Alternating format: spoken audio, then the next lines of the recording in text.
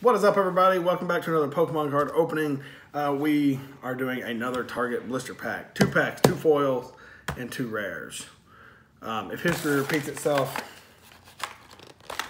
those will be absolute garbage. Yeah, the foils won't really be foils. I mean, And the reverse rares foils won't that be rares. um, We'll try to keep it a secret for trying to keep it a secret, even though it's probably just going to be, you know, whatever. But oh, I did it. Okay. What do we got? Celestial Storm and Fates Collide.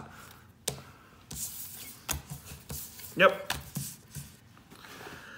Hariyama and Cineroar from both of those are rares from uh, Sun and Moon that we have. So, and uh, I don't have any idea what set this is. I actually want to say it's base set XY, and then that's Sun and Moon as well.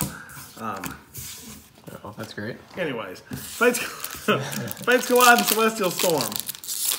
We'll do Fates Collide first. Oh, almost did three, four from the back. Three. Somebody's not breaking in.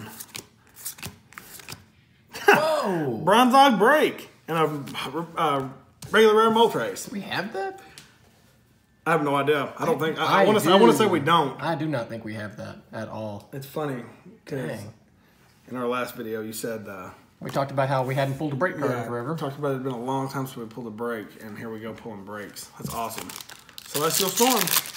Now can we pull a Prism card? Because we said the same thing about Prism cards. It's been a long time since we pulled one of those as well.